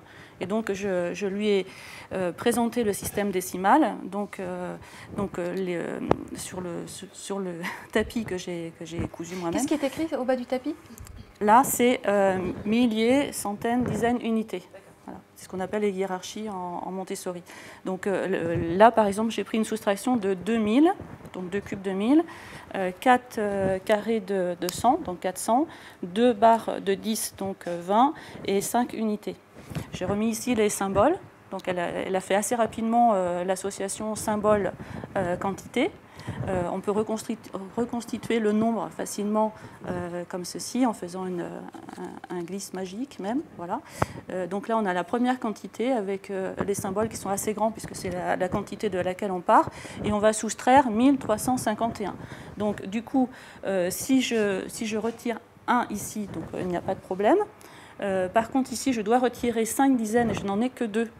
Donc ça s'appelle un change, c'est une retenue. Donc à Montessori, on dit un change. Et là, on apprend à l'enfant à aller à la banque pour changer sa centaine, qui est ici, donc 100 perles. Donc il va à la banque pour changer en 10 barres de 10. Donc euh, là, je prends 10, 1, 2, 3, 4, 5, 6, 7, 8, 9, 10. Voilà. Donc maintenant, il a 12, 12 euh, dizaines. Et donc, il peut en retirer 5. Donc je retire 3, 4, 5. Là maintenant, il peut retirer 3 euh, centaines sans problème. Et il peut retirer un, un, millier. Et il a son résultat ici, donc en remettant euh, ces barres dans le... Voilà, pour traduire en chiffres. Et donc, euh, voilà. Et donc ça, je lui ai montré avec le, matériel quelques jours. Et ensuite, elle a pu le faire directement sur papier. C'est l'idée d'avoir une appréhension sensorielle, concrète des choses, des représentations, des éléments qui permettent d'accéder aux apprentissages. Tout à fait. Et on manipule aussi le français. Voilà. Et donc j'ai fait la même chose pour la, pour, la lecture et pour euh, la grammaire. Alors pour la grammaire, je me suis lancée à lui expliquer ce qu'était un verbe, un nom et un déterminant. Alors pour le verbe, j'ai euh, euh, j'ai fait des étiquettes rouges, puisqu'en Montessori, le verbe c'est rouge, c'est une boule rouge. Et donc je lui ai donné une étiquette. Elle savait, donc j'ai choisi les verbes de façon à, ce qu'elle puisse les lire, puisqu'elle était en train de, finir d'apprendre à lire. Et donc elle lit et elle fait. Donc elle, elle, a lu, elle a fait, elle a trouvé ça très rigolo. Donc c'est quoi? C'est avale, saute, mange, et elle, elle, elle suit l'action. Elle le lit et elle le fait. Je lui ai donné saute. Donc elle a sauté. Et je lui ai dit le mot qui dit ce que tu fais, tu sautes. Le mot qui dit que ce que tu fais, c'est un verbe. J'ai mis quelque chose dans une assiette, je lui ai dit mange, enfin elle a lu mange, elle a mangé. Et donc je lui ai dit le mot qui dit ce que tu fais, c'est le verbe. Et tout comme ça. Donc dessine, enfin à chaque fois j'ai euh, apporté ce qu'il fallait pour qu'elle puisse faire l'action. que Le, langage ait du sens. En Pour que le langage ait du sens. Et pour le nom, euh, j'ai fait la même chose avec euh, des étiquettes de choses qui étaient dans la maison. Et je lui ai dit le mot qui dit ce que c'est, ce que c'est le nom. Fleur, pareil, elle a cherché, hein, donc elle a, exploré toute la maison comme ça, les, deux étages, pour trouver le dentifrice, le savon, le lavabo, hein, une assiette, etc. Et donc elle a posé sur les différents objets, et à chaque fois je lui dit, bon, le, mot qui dit ce que c'est, c'est le nom. Et ensuite on a donc mis... Euh, un petit mot devant, puisque je lui dis, on ne dit pas casserole, est-ce qu'on dit un casserole, une casserole? Elle a pris un, une des et le la lait, donc elle a su mettre le petit mot devant, donc je lui ai dit c'est le déterminant, voilà. Et, euh, maintenant, donc euh, elle peut lire euh, ouvre la porte, ferme la porte, et c'est toutes ces actions-là, et j'en suis aux fonctions, donc au sujet, verbe et complément d'objet direct. Voilà, alors que je ne pensais pas y arriver, mais euh, voilà, avec Montessori, et en, par l'action, par le mouvement, par euh, le concret. Euh, Une traduction concrète, matérielle, sensorielle, par l'action de, ce qu'elle vient de lire, qui permet de, de s'imprimer. Super, merci beaucoup. Nous allons faire une petite pause. Je vous invite à découvrir le parcours de Samy, adolescent scolarisé dans la classe Ulysse du collège Jean Massé de Suresnes.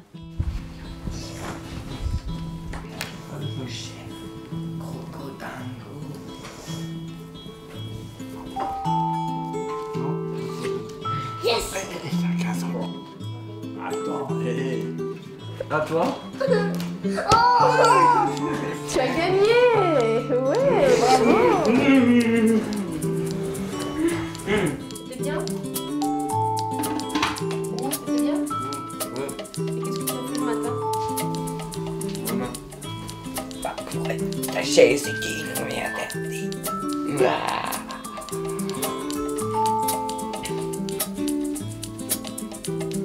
Samy a 14 ans, il est autiste typique. Comme tous les enfants de son âge, Samy va à l'école. Il est accueilli au collège Jean Massé de Suresnes dans une classe Ulysse composée d'élèves de profils différents. Tu racontes une histoire, il faut donner envie, il faut voilà. Tu racontes quelque chose. Et là maintenant on va faire quoi? Tu regardes ton emploi du temps? Qu'est-ce qu'on va faire? Lecture. Je lis. Avoir. Pour me faire comprendre. Ok. Toi ton objectif c'est quoi Samy? C'est de lire? À voix haute. À voix Haute. À voix Haute. À voix Haute. Ouais. D'accord. Quand Madame Berton estime que l'élève peut être en inclusion, elle, euh, elle le place en cours avec des professeurs dans des disciplines particulières. Et c'est variable, c'est variable selon l'enfant, c'est variable selon les années, puisqu'on a des élèves dont l'inclusion augmente avec le temps, et ça peut aussi varier en cours d'année. Mmh. Non, je veux cette fourmi. Oh. Vas-y, je t'écoute bien fort. Non. Si, si, si, si. Samy. Alors c'est parti, Samy, on t'écoute. Il était une fois une pauvre fille. Un jour. Un jour. Un jour. Rencontra une vieille femme dans la forêt. qui Lui donna un vieux Madame Berton, qui vient d'un autre dispositif, elle s'est appropriée toute la connaissance du collège. En même temps, il faut que les enseignants euh, s'approprient le fait que l'élève va avoir un autre contrôle. Comment on va faire ensuite avec lui? C'est vraiment un travail de complicité. Ça, c'est très important de la complicité pour que le- l'objectif soit atteint. Enfin, l'objectif, c'est quoi? C'est que l'élève se sente- soit bien inclus dans une classe entre guillemets normale. Vendre. Il souhaite vendre. Ça marche ou ça marche pas? Ça marche. Ça marche. Donc terminaison Et. et ER. Très bien, Samy. Très bien. Samy est inclus dans deux classes de référence, en sixième pour le français et en quatrième pour l'EPS, l'espagnol et la musique. Une plongée dans le grand bain au milieu de collégiens ordinaires.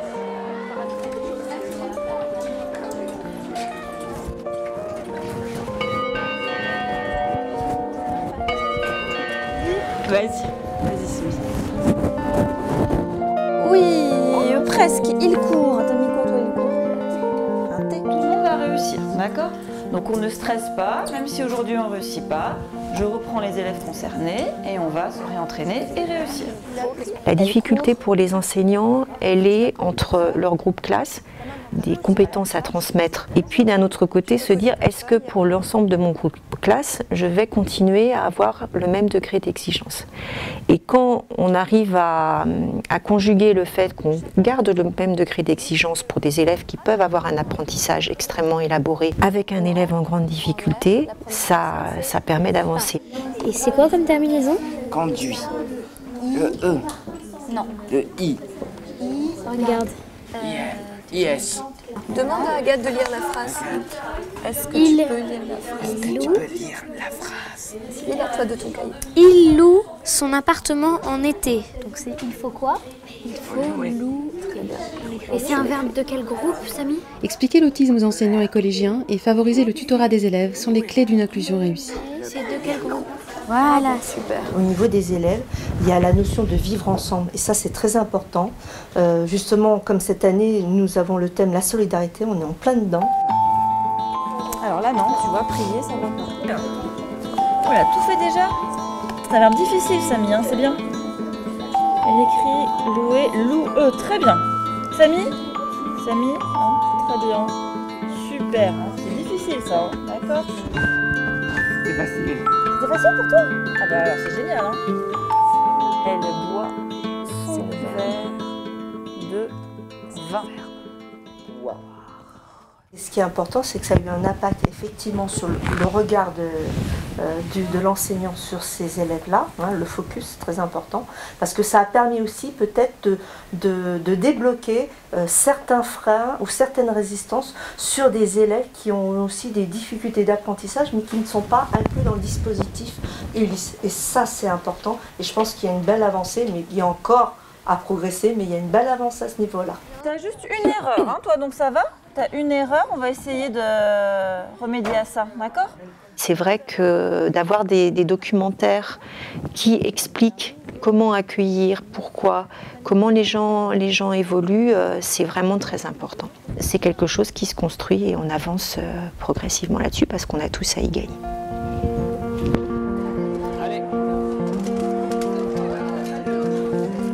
En classe ordinaire, Samy apprend à être avec les autres, comme les autres. Jour après jour, élèves et enseignants s'adaptent à sa différence. Une adaptation réciproque pour le bénéfice de tous. Samy, t'as mis un, teach, un chasuble vert T'es avec les verts, Samy. Samy va jouer avec tout le monde à certains moments de cours, à d'autres moments de cours, il va suivre son équipe quand il peut. Il a commencé le cycle sans dribbler avec le ballon pour aller vers le panier. Il prenait le ballon, il allait vers le panier comme un rugbyman euh, porte la balle pour aller marquer. Donc euh, ce jour-là, je l'ai juste fait à côté de lui le dribble. Je l'ai fait à côté de lui, il, m'a juste imité. Il a compris que je voulais de lui qu'il dribble pour progresser avec le ballon, juste parce que je l'avais euh, fait à côté de lui. Les phases de jeu où il prenait la balle pour se précipiter vers le panier, mais quand il marquait le panier, il a tout de suite sauté en l'air euh, de joie, etc. Donc là, il a, il a compris que c'était une valorisation de marquer le panier. Samy ce qu'on évalue plus, c'est quels sont ses progrès au fil des cours, qu'est-ce qu'il est capable de faire euh, maintenant qu'il n'était pas capable de faire au début du cycle, mais pas forcément la notation sur 20 comme la connaissent euh, les autres élèves. Je demande la même chose, mais c'est les moments où il va être en échec que je vais lui euh, proposer autre chose. Maintenant, ils interpellent Samy, ils lui demandent des choses, ou quand ils voient Samy en difficulté, il y a des élèves qui le guident souvent quand il est perdu ou quand il ne sait pas ce qu'il y a à faire. Jusqu'au fait. Voilà. Voilà, encore, c'est bien. Ils sont attentionnés et ils l'encouragent beaucoup. Toi, tu es après Clémence. Après Clémence.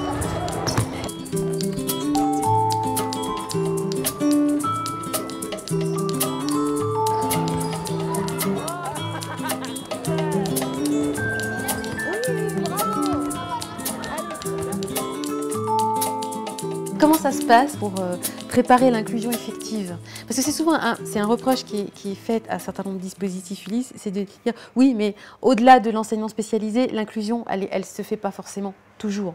C'est difficile de mettre en place. Mais, mais si vous êtes sur ce plateau aujourd'hui, c'est parce que vous, vous le faites. Et elle doit ouais. se faire, moi je dirais, elle doit se faire. Voilà. De toute façon, elle doit se faire coûte que coûte.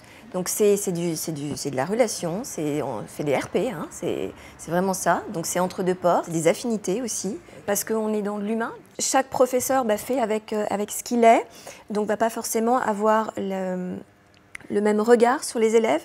Donc c'est vrai que quand on est dans un établissement depuis 2-3 euh, ans, on sait, on sait là où ça va marcher, avec qui ça va marcher ou pas. Donc il y a des personnalités aussi. Bah, bien sûr, il faut faire avec. Tu ne serais pas forcément venu vers moi tout de suite, non. tu m'avais dit. On a de la chance d'avoir une principale, principale, qui est euh, très qui à fond, qui, à fond qui, est, qui, est, dans Elle la difficulté, qui est dans, qui est vraiment, euh, oui, il y a des professeurs qui vont être dans la bienveillance, qui vont avoir ce regard euh, un petit peu plus ouvert que, que d'autres. Pour ceux qui sont entre guillemets les, les plus réticents, euh, ils ont peur, ils ont peur d'être jugés dans leur dans leur pratique, voilà. Euh, parce que parce qu'il y a l'AVS qui sera présente, parce que moi je peux peut-être aussi être amenée à, accompagner un élève en inclusion. Donc déjà ce regard. C'est une partie du dispositif qui est très intéressante, c'est qu'étant dans l'école, oui. vous avez quand même une plus grande possibilité de, de, pouvoir intervenir directement en classe pour avoir un regard sur l'enseignant par rapport facile, à. C'est mais on, il faut, c'est important. C'est ce travail-là, le leur dire, mais non, on ne juge pas ton travail. De toute façon, c'est fait de tâtonnement, t'essayes, si ça marche, c'est bien. Mais ça leur, je pense que pour les plus réticents, vraiment, ça leur fait peur. Ils ont peur de ne pas réussir de ne pas l'amener. Ils ont peur d'être vus en situation euh, d'échec. Oui, tout à fait. L'élève qu'ils vont inclure, il ne faut pas avoir les mêmes exigences euh, pour lui que pour les autres. Et c'est pas grave. Les idées commencent à entrer hein, dans, le, collège, mais c'est qu'on ne va pas demander la même chose à chacun. Voilà. Alors moi, j'étais un petit peu le, professeur un peu bisounours hein, du collège. On s'est un peu beaucoup moqué de moi pendant des années quand tu n'étais pas là. Parce que bah, je ne demandais pas la même chose à tous mes élèves. Voilà. Et donc, euh, on pouvait être en situation de réussite même si on n'avait pas euh, atteint, enfin si on était en sixième, mais qu'on n'avait pas atteint un niveau sixième. Parce qu'on avait des objectifs qui étaient personnalisés. On, avait réussi, pourquoi on n'aurait pas une bonne note Enfin voilà, c'est ça. On peut être en réussite, même si c'est pas avec le même rythme que les autres. Et puis, euh, quand on a pu inclure des élèves autistes, ça s'est fait naturellement. Parce que moi, je voulais vraiment qu'ils soient en situation de réussite. Et on travaille vraiment là-dessus, c'est-à-dire que même, moi, on, travaille beaucoup aussi en amont et en aval. Euh, Anne-Cécile connaît mes cours, elle, elle connaît les évaluations, on les adapte. Et on travaille pour que l'élève, quand il arrive en mon cours, il soit vraiment en situation de réussite. Voilà. À son niveau, hein, bien sûr, mais comme moi, tous mes élèves sont à des niveaux différents. Il n'y a pas un niveau normé. Voilà. On peut aussi avancer avec son rythme. Et euh, bah, il avance avec son rythme comme les autres avancent avec euh, leur rythme. Moi, ça ne me dérange pas. Et par exemple, je sais que je pratique des ceintures d'orthographe où euh, on n'a pas une bonne note ou une mauvaise note. Juste comme au judo, on avance. C'est ça. Voilà, ça on avance dans des ceintures. hein. Jaune, euh, Ouais, jaune, rouge, verte, verte, voilà, jusqu'à noir. Ah, voilà. Et donc c'est affiché au tableau. Donc, avec, euh, donc on sait qu'il y a des ceintures. On sait très bien qu'il y en a qui, qui vont arriver plus haut que, que d'autres. Mais comme au judo, on est fier de sa ceinture. Voilà, J'ai réussi la ceinture verte. Ça ne correspond pas à une note. C'est pas ah mais non t'es mauvais, t'es mauvais parce qu'en sixième il aurait fallu faire ci ou ça. Non toi tu as réussi aujourd'hui la ceinture verte. La prochaine fois tu vas réussir l'autre euh, ceinture. Et en plus Samy les prépare avec toi. Donc il arrive en classe et il arrive après à valider le test. Donc euh, il est fier, il est en situation de réussite. Alors qu'il y en a d'autres même qui sont en remédiation, parce que ceux qui n'y arrivent pas, ah bah, avec moi je la prends en remédiation, parce que je veux que, tout le monde arrive à passer les ceintures. Et lui-même, il arrivait du coup à passer les ceintures plus vite que d'autres, parce qu'il avait bien préparé les choses euh, avec le dispositif Ulysse. Enfin, moi, je veux vraiment que les élèves soient tous en situation voilà, de réussite, de se dire j'ai un objectif, je l'ai atteint, je suis fier de moi. Voilà. Mais tu es dans la pédagogie différenciée. Et ce, qu'on peut, ce qui se pratique très facilement en primaire, c'est difficile très compliqué au secondaire. Et de faire comprendre, de faire. Ils ne sont pas formés, les professeurs, à ça. Pas du tout. C'est du frontal, encore, même si euh, on, on évolue. Et pour beaucoup, c'est- compliqué. Ils ont l'impression que. Alors, il y a une réalité, une classe de 30 élèves, forcément, on ne peut pas faire de la pédagogie différenciée tout le temps. Oui, mais les classes clair. sont aussi très hétérogènes, Mais les classes bien sûr. sont très hétérogènes. Mais la grande réussite, hein, moi j'ai une professeure de SVT qui arrive cette année, donc qui est toute nouvelle, qui me dit Ah, mais euh, ton, ton, ton, éva- ton évaluation adaptée, je l'ai utilisée avec mes élèves en difficulté. Mais je dis Mais t'as tout compris. Et ça, ça commence, ça commence à faire. ces- Et ça, c'est génial. C'est une révolution culturelle. Mais oui. Ouais, mais parce que les professeurs, me disent oui, mais tu ne leur dis pas la vérité à tes élèves. Tu leur mets un 15 ou un 16, euh, oui, mais c'était pas du niveau 3e, donc tu leur dis pas la vérité. Mais moi, j'arrive en 6e avec des élèves qui, même euh, ça m'y fait partie, mais mes élèves qui arrivent en 6e, enfin, il y en a qui ont un niveau déjà de 5e, 4e, puis il y en a qui ont un niveau de CE2, enfin, j'en sais rien. Enfin, ils, sont, ils ont tous un niveau différent. Donc, qu'est-ce que je fais? Est-ce que je mets des mauvaises notes pendant toute l'année à celui qui était. Tu as de la avait un phobie scolaire et, du, et un dégoût Voilà. d'école? Voilà, c'est ça. En fait, et je vais la donc- BA sans savoir. Hein. Mais complètement, Hein mais complètement, mais J'étais moi ça arrivée me à un va. point où je me disais, mais on fait de la maltraitance d'enfants, on, on- on les maltraite, c'est-à-dire que bah, ils n'ont pas le même rythme d'avancement, et donc on va leur dire pendant toute l'année, dans toutes les matières, tu as 5 sur 20, je te dis la vérité, hein, voilà, la vérité, parce que tu n'es pas dans le même rythme que les autres. Donc tu es nul. L'objectif, c'est qu'en en faisant euh, comme vous pratiquez, en les mettant en confiance, euh, c'est juste se dire, mais en fait, mais quand on a un enfant qui est en situation de réussite, et, et c'est la conséquence finalement à son comportement, donc vous avez, euh, bah oui, effectivement, vous avez tout compris, c'est-à-dire que euh, même s'il a qu'un tel niveau, mais il est conforté dans ce niveau-là, et donc il a une super note, et il se sent valorisé, qu'est-ce que vous mettez en place en fait? C'est que la prochaine fois, il aura encore envie de le faire. C'est du renforcement de base en fait, hein, et, et le social va venir en, en plus, et il va, il va progresser puisqu'il va passer ses ceintures, et même les autres qui, euh, qui sont des neurotypiques, mais qui avaient euh, des, des différences de niveau, vont jouer le jeu et vont rentrer dans ce système-là. Et finalement, oui, c'est une révolution scolaire. Est-ce qu'on peut en profiter pour expliquer les principes de la BA Pour les principes comportementaux, la BA, en fait, c'est. euh, euh, si, si on met du, un- une note 5 toute l'année parce qu'on va lui dire la vérité, mais on est punitif.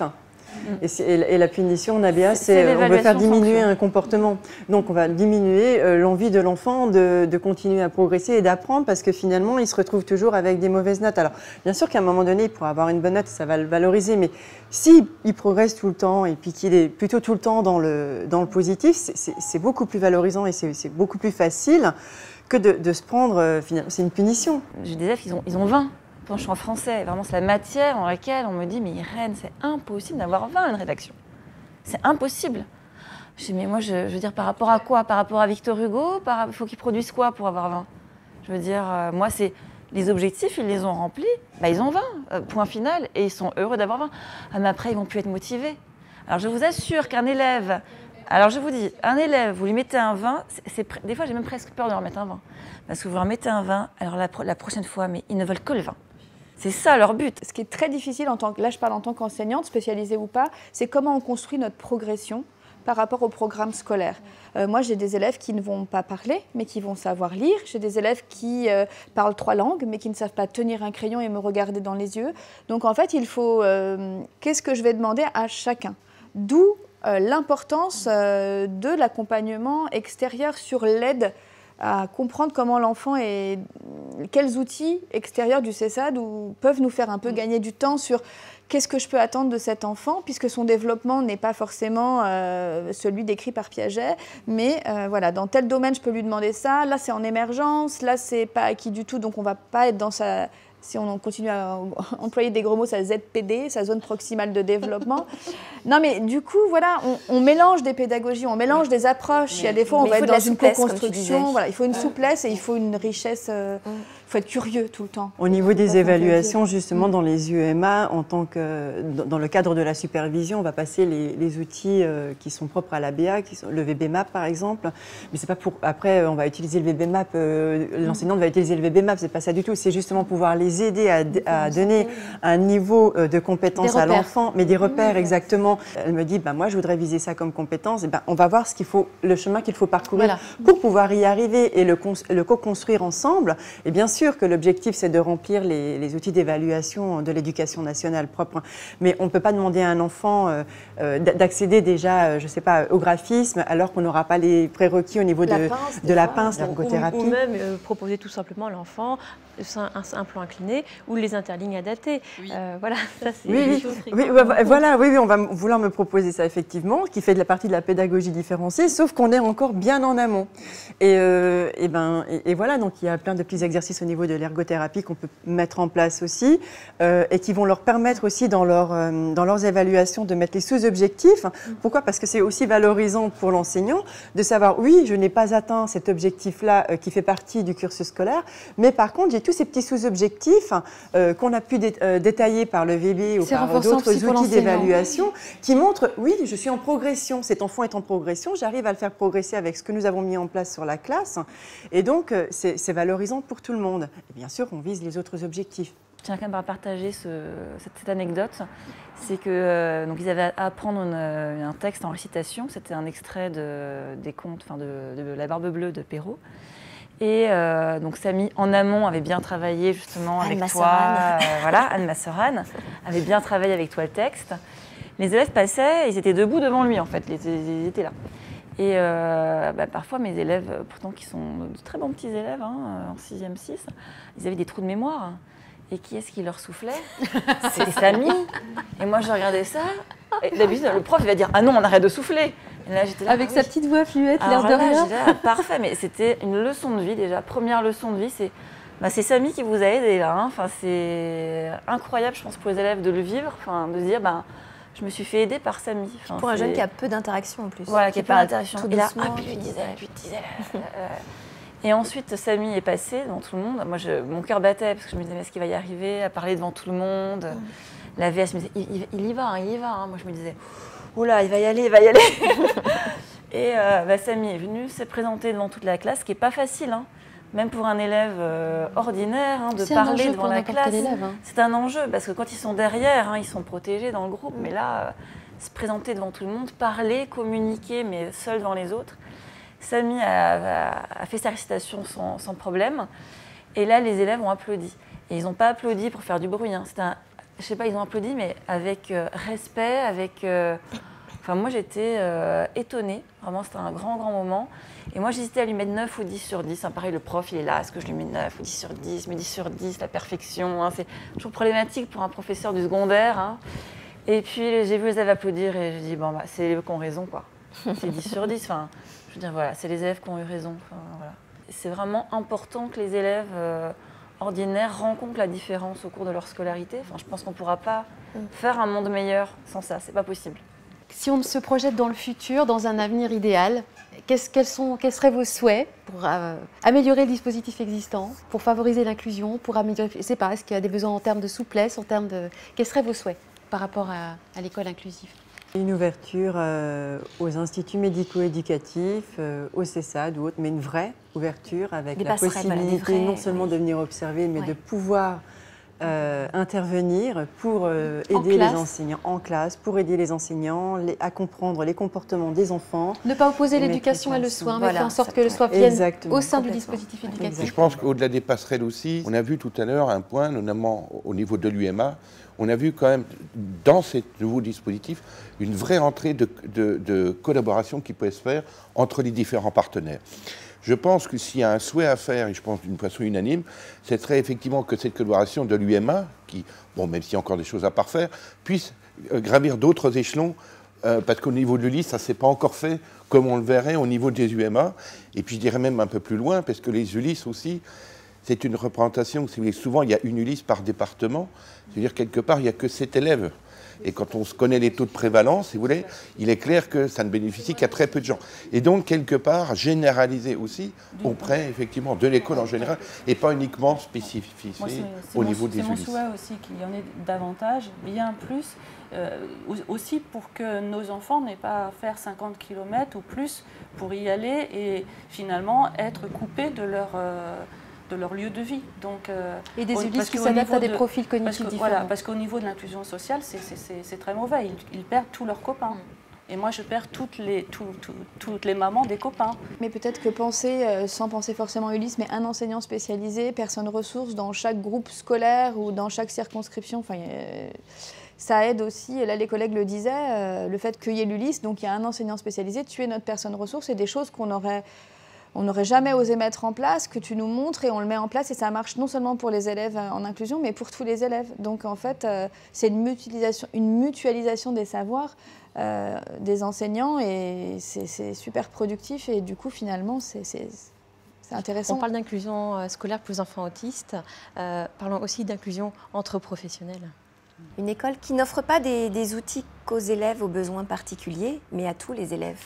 Et le jour où on, on arrivera à faire ça, on aura tout compris. Moi, je suis professeure de pas que des élèves euh, du lycée. Et je veux vraiment dire, parce que les parents ou des gens, ou dans les médias, des personnalités vont dire que du coup, on est moins exigeant, il y a moins d'autorité, il y a moins de règles. Alors que moi, pour moi, le fait de maintenant travailler en individualisant, ça fait que les élèves qui sont, et j'y pense aussi, mes excellents, mes excellents élèves, bah, eux, je peux leur donner des objectifs qui sont encore supérieurs. Alors qu'avant, on s'occupait que de la, on va dire, du noyau central de la, masse. Alors que maintenant, l'élève, hein, que les parents n'aient pas peur, ah, il y a des élèves du lycée qui viennent, ah, c'est individualisé, ah, le niveau baisse. Ah, mais non, le niveau des bons élèves et des excellents élèves, je vais pouvoir m'en occuper. Eux, je les mets en autonomie, je leur donne des objectifs bien plus élevés, et du coup, on fait des choses qu'ils n'auraient jamais fait auparavant. Donc les très bons élèves, ça leur profite. Mais ça, je crois qu'il y a un énorme changement de mentalité à faire pour se dire bah, que l'autorité, elle va être là, les règles, elles vont être là, les exigences vont être là, puisque je vais exiger à l'élève de faire ce qu'il peut faire. Donc je suis très exigeante en fait. Mais ça va être des mots pleins. Voilà. Et ça, si on pouvait euh, rendre plein ces mots, ce serait formidable. Ce serait le mot de la fin. Merci. Merci infiniment. Merci beaucoup.